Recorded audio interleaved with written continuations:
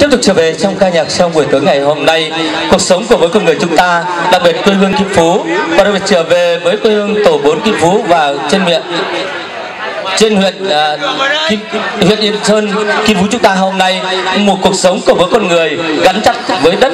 Và đất là một tình cảm thiết tha của một con người.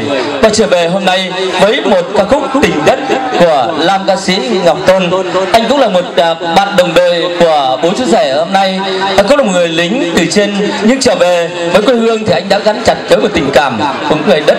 Trở về với quê hương Hoàng Khai của Bắc Tôn chỉ xin trân trọng kính mời à, Bắc Tôn trở về với một ca khúc tình đất, xin chân thành kính mời tôi thưởng thức một tràng có tay tay cho ạ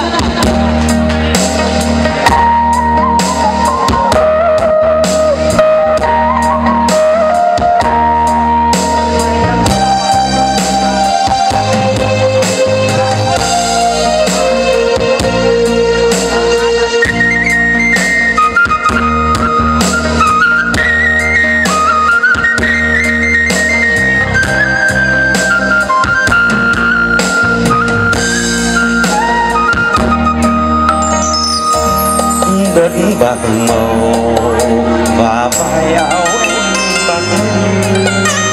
Chẳng người trên